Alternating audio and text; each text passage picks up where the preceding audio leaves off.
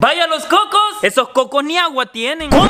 ¿Que mis cocos no tienen agua? Mis cocos tienen la suficiente agua para abastecer una familia entera. Ahorita vamos a llenar un vaso, vamos a llenar un segundo vaso. Vamos con un tercer vaso y vamos con un cuarto vaso. Y es más, si usted cree que mis cocos todavía tienen poquita agua Vamos a llenar una cubeta. Estos son cocos infinitos de agua. Con este coco puedes construir hasta una casa si es posible. Ya de que todo el mundo diga que no tienen agua. Véanlo con sus propios ojos. Estos cocos se convierten hasta en una ducha portátil. Así o más agua.